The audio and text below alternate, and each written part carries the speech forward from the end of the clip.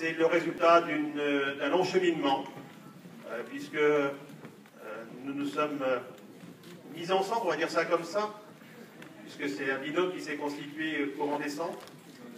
qui a cheminé, qui, a œuvré sur le terrain, qui, sur ces trois dernières semaines, a arpenté,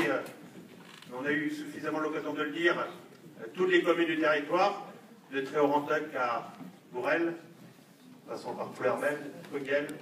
Illac, Tilly, Ménéac, 32 communes, 32 communes, 40 000 habitants, le canton euh, le plus peuplé de, ce département, le canton où il y a le plus de, communes. Au jour d'aujourd'hui, c'est une victoire collective,